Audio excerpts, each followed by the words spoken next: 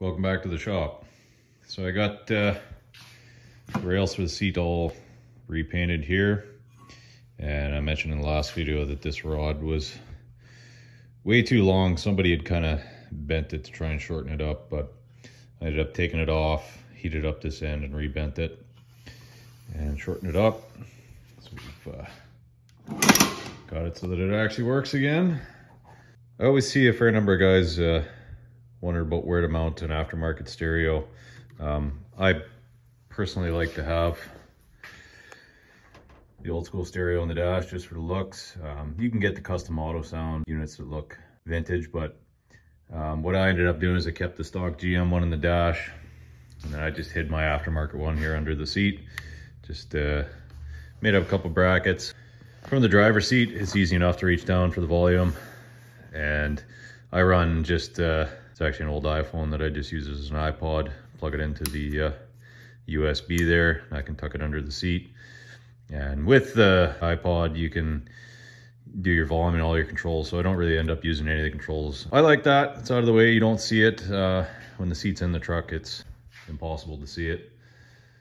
And uh, works pretty well. Run my wiring up under the carpet into the back there and uh, it's worked really well. So definitely an idea for you guys. I know some guys will put them in the glove box as well, but glove boxes in these trucks are quite small to begin with, and I like to keep a few extra bits and a few tools and that in there too. So it is a Chevy after all, so got to keep some spare parts and tools with you. Um, anyways, so I'm gonna fire this back in. I picked up some new hardware. A few of the bolts were missing, so I'll get this thrown back in there. All right, so she's all back in there. My seat belts fed back through, everything bolted down. Like I said, with uh, that stereo in there, you can't see it unless you're right down on the floor here, but gonna get everything cleaned up, give it a vacuum, everything wiped down. Probably gonna pull the truck out and wash it tomorrow. It's a little bit dusty from sitting all winter. And uh, we'll give the interior a detail while we're at it. I did just pull the distributor as well. The uh, mechanical advance on there was a little gummy, so took it apart, polished everything up, cleaned everything up, dropped it back in.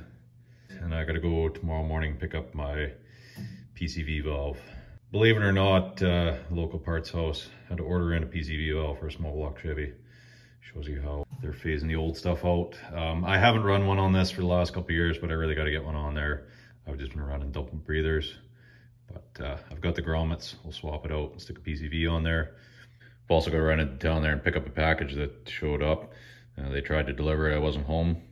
So they took it to the drop point. and uh, that night I found out that the uh, drop point caught fire. So I went to go pick it up the next day.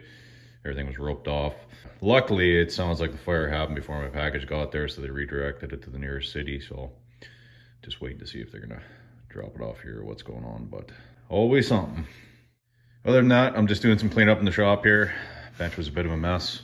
Not quite as messy as Mr. Heavy Chevy. If any of you follow him, uh, he actually cleaned his workbench off for the first time. And uh, as long as I've been watching, he's well known for having messiest workbench on YouTube, but uh, I think it was actually cleaner than mine for a bit. So, uh, can't have that. Like I said, gonna tidy up, put some stuff away. It's a beautiful sunny day out there, so I might go work on some stuff out uh, on the 68 or see what we can get into. Might uh, tackle that lower rad hose on this one later as well. Previous owner had kind of cobbled this contraption together here. It's not quite the right hose, so it rubs on the frame. But I managed to find one that will supposedly work. This truck would have originally had a 307 in it, and it got swapped out. So uh, just need something to clear that frame rail. That one there works, it's just kind of tacky. So we'll get that dealt with. So that's it for now. I'm gonna go see what kind of trouble I can get into. And uh, we should have another one coming up here for you in the next week or so. So as always, thanks for watching. We'll see you next time.